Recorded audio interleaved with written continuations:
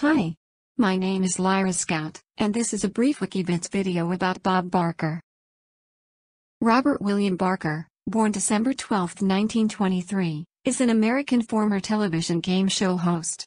He is best known for hosting CBS's The Price is Right from 1972 to 2007, making it the longest-running daytime game show in North American television history, and for hosting Truth or Consequences from 1956 to 1974. Born in Darrington, Washington to modest circumstances, Barker enlisted in the United States Navy during World War II. Barker worked part-time in radio while he attended college. In 1950, Barker moved to California in order to pursue a career in broadcasting. He was given his own radio show, The Bob Barker Show, which ran for the next six years.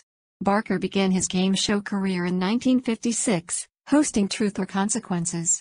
From there, he hosted various game shows as well as the Miss Universe and Miss USA pageants from 1967 to 1987 giving him the distinction of being the longest-serving host of these pageants.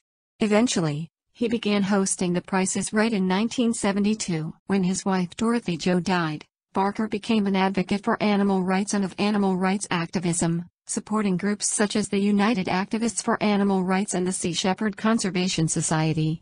In 2007, Barker retired from hosting The Price is Right after celebrating his 50-year career on television. Well my friends, I hope you've enjoyed this brief video about Bob Barker. Until next time, this has been Lyra Scout for WikiVids.